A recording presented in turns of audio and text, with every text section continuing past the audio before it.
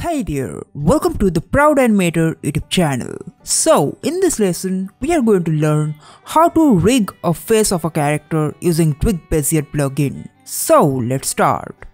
So, right now we are inside of After Effects and in this lesson we are going to rig the face of the character using Duik Bassel. So, we have already illustrated the drama in flat style we are using that character in this lesson if you want to check the full illustration then you can get the link in the description. You can check it out. In the next lesson we are going to animate this drummer. So stay tuned for that lesson as well.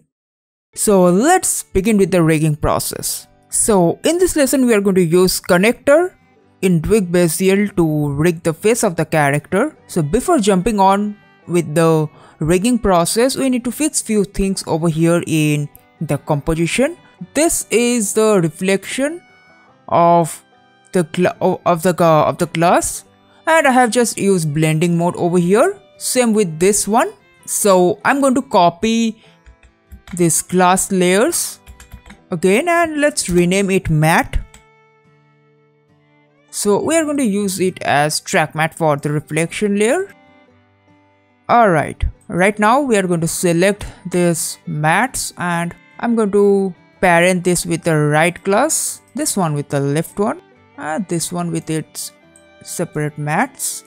So we are going to use or we are going to select the classes and parent it with frame. So we need to just parent this joint layer with any of the base layers. Doesn't matter. And this ones we need to parent it with its base layers as well same with the other parts of the face.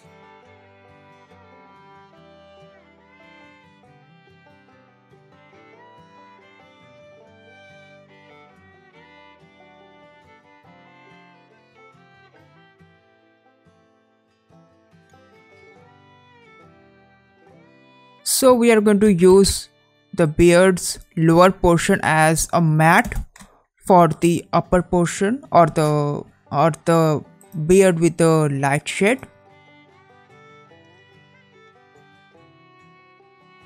same with the face as well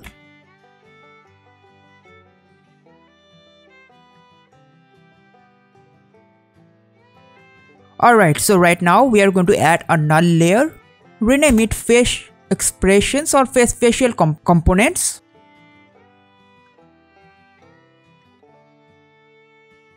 So what we are going to do is we are going to parent every component on the face including sunglasses, mouth, nose, beard with this particular facial components. Okay, so first of all let's change its anchor position and put it exactly at the middle like this.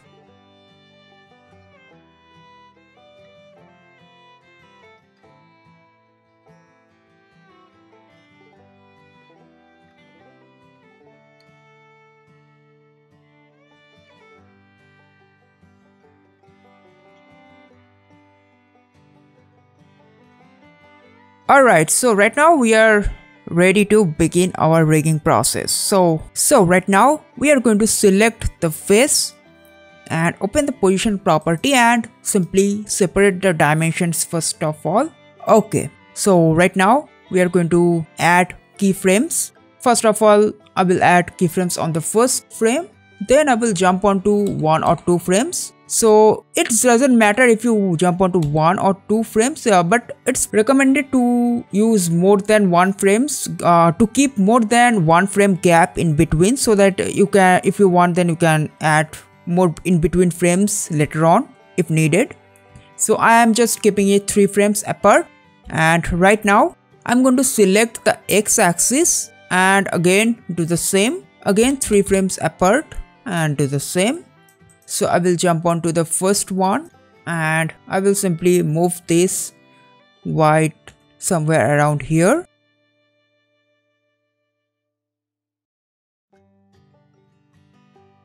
And same with the last frame. I'm going to select the layer and simply move it in the opposite side. Alright, right now we are going to do the same for the y axis as well.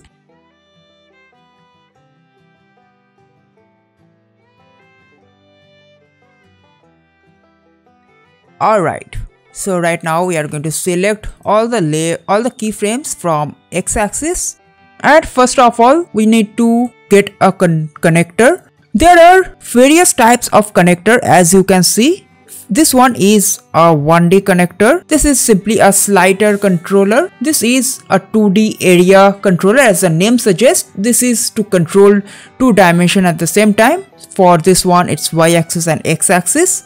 This is for angle rotation. So for uh, this one I need the second one, the second other 2D controller.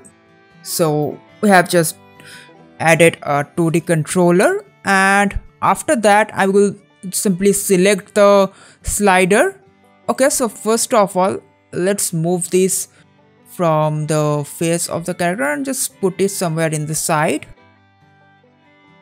so I will select the slider and simply select the x-axis and add x-axis over here because for with this we are we want to control the x-axis properties with this slider so add value over here and connect to properties. So if you check it, then it's actually moving. If we move the controller, it's moving in x-axis but nothing is happening in y-axis because we haven't added the y-axis or connected the y-axis with this slider. So let's do the same and check it out. So for this one let's select all the keyframes in y-axis and then select y-axis keep it value always. And if this thing doesn't come first of all select this then click on property it will come. I mean sometimes uh, this uh, values doesn't come or so that's why you need to select the property first. And right now for y-axis select the y-axis value and connect with properties. Let's check it out. Yeah perfect. Alright, so this is how you can, this is the basic demonstration of how the slider controller or this connector in Duik Bassel works. And this is how, what you need to do for rigging a face of a character and this and can also be done with the other parts of the body as well. So for this one, we are going to keep it simple and just only use it to rig the face. Okay, right now we can do more exciting things such as we can even move the reflection of this reflection on the glasses as well. So let's do that.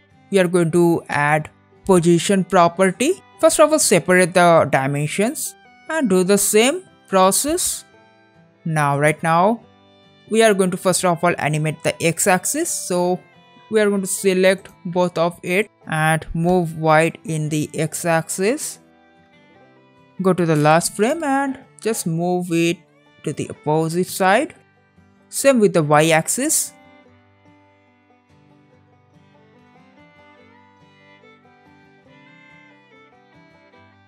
We don't even need to add another slider controller. We can do it with this one only. So first of all select the x-axis and parent it with x-axis, connect properties Same with y-axis. Alright, now let's check it out. Yeah, isn't it cool?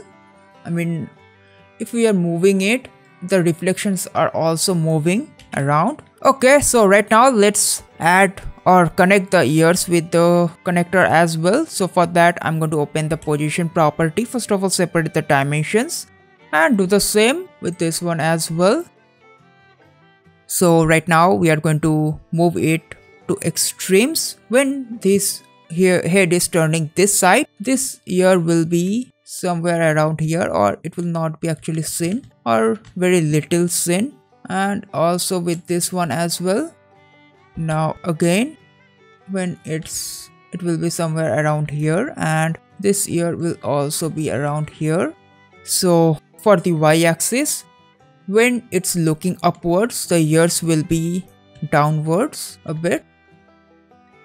And let's move the mid up slightly. And when it's looking downwards then it will the ears will be a bit upwards. Okay now let's connect the properties. So let's check it out. Perfect. Alright so right now let's add few detailing to these uh, controllers. So we are going to add keyframes in the frames as well such as when it's uh, this will also move in uh, uh, I mean it's in perspective. So when it, when the head is turning this will also move somewhere around here and also with move in the opposite direction around here as well. So so I think we need to uh, just create a vector from this layer. We don't need the illustrator file because we might use this I mean, uh, we might also add keyframes to the path property as well. First of all, let's, uh, we need to add some track matte. So we're going to copy these layers first and we're going to put it above its individual glasses. Rename it mat.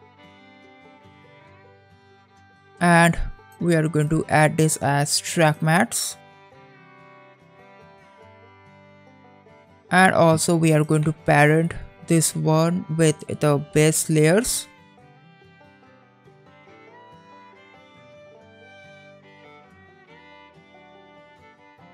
Alright so right now we are going to add keyframes to these frame layers and also in the glass layers as well. So first of all let's separate the dimensions and let's close these keyframe properties. And we are going to do the same process for this one as well.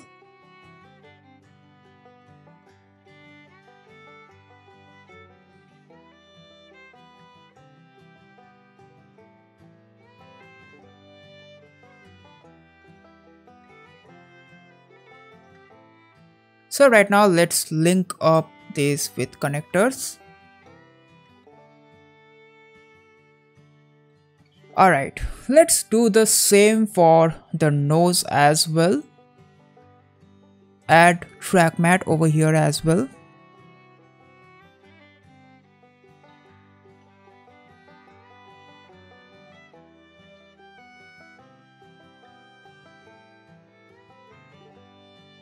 Okay, let's check out with the slider.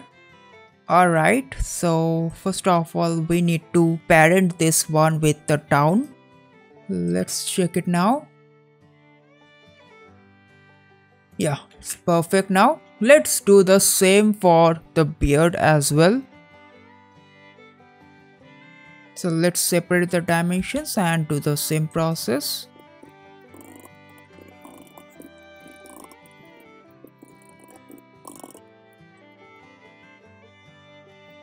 So let's check the slider. Yeah perfect. Okay so right now we are going to also add a controller for the mouth as well so that we can change the shape of the mouth. So for that i think we uh, can do the same with uh, with only 1d controller. So let's add another slider controller. So first of all select it and i will put it somewhere around here. And where's the mouth layer.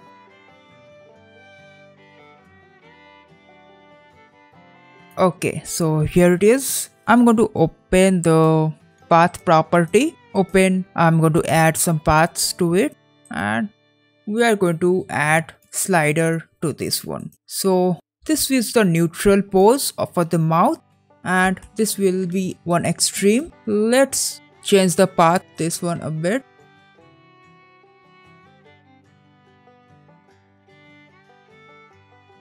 and at this particular point let's close up the mouth or just wide open it. We can do that as well.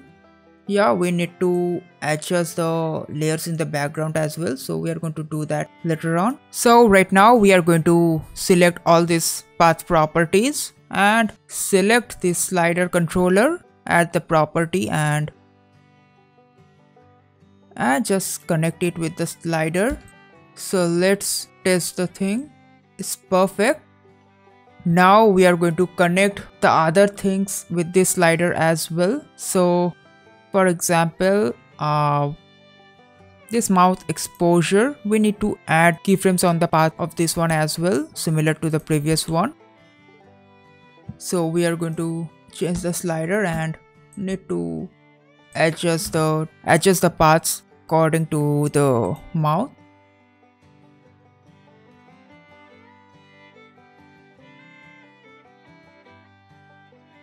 okay i'm going to select the path and simply connect with the property. Let's check it out. Okay sorry. First of all let's undo it. We need to do the same for the other extreme as well.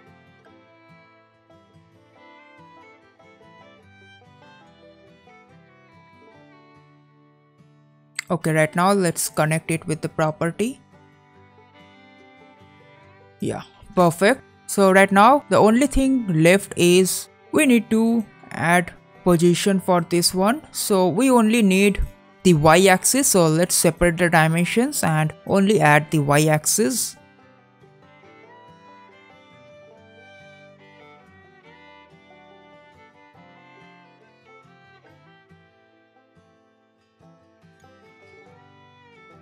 Alright, so right now we are going to connect it with the slider.